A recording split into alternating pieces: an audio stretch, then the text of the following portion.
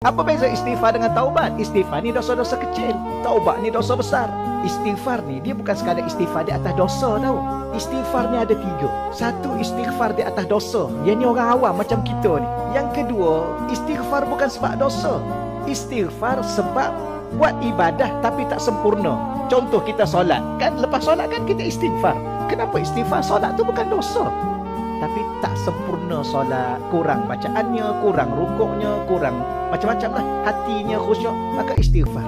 Maka ada ulama dia istighfar ni bukan kerana dosa. Ada satu lagi dia istighfar bukan kerana dosa. Dia istighfar bukan kerana tidak sempurna beribadah tapi dia istighfar kerana dia tak sempurna jadi hamba kepada Allah. Bahkan ada satu lagi istighfar kerana apa? Kerana bersyukur di atas nikmat yang Allah bagi tapi tak pandai guna nikmat tu